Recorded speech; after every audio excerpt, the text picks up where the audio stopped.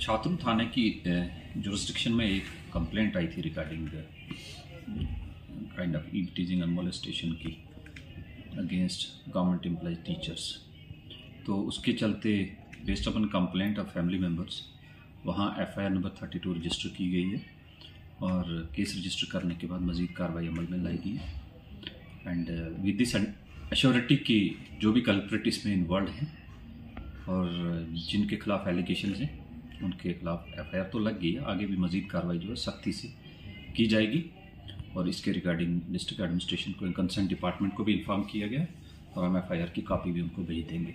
So so that कोई भी ऐसा एलिमेंट जो स्पेशली बच्चियों का तक मामला है ऐसी गलत हरकत में शामिल ना हो और बिसाइड डिपार्टमेंटल एक्शन भी उसके हो।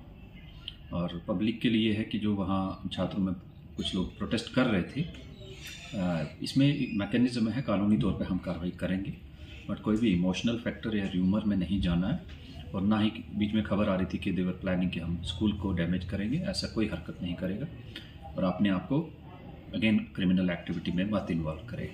So that is for report which I present you thank you होता इसमें। कोई एक बीच में पाँचों उंगलियाँ एक जैसी नहीं होती। हम तक कोई ऐसी कंप्लेंट नहीं आई है यहाँ पे।